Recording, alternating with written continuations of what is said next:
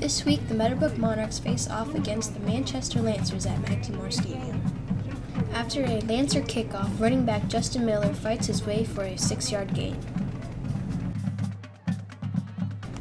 Two plays later, the Monarchs fumble and the Lancers recover. The Monarchs start to move the ball down the field with a pass completion by Tyleek Mann to Jonathan Bunt. After a five yard touchdown run by Justin Miller with a successful field goal by Jonathan Gonzalez, the score changed to 7 0. After the pursuing kickoff, Lancers start the drive with their back to the end zone. After a quick three and out, the Lancers punt, which is muffed by the Monarchs and recovered by the Lancers. The Lancers prepare to punt the ball away again, but a bad snap results in the Monarchs to have good field position.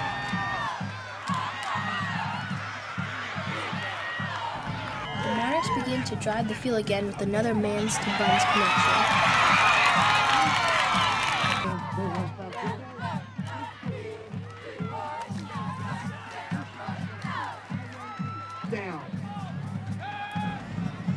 As the first half winds down to the final seconds, Rashid Johnson comes up with an interception, almost taking it all the way.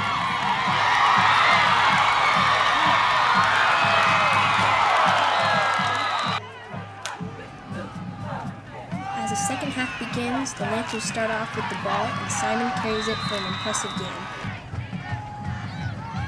Elvis Martinez to kick.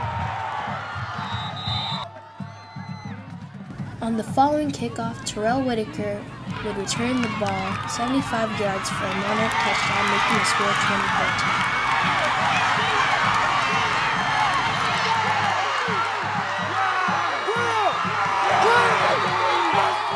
Played an amazing game and won with a score of 20 to 13.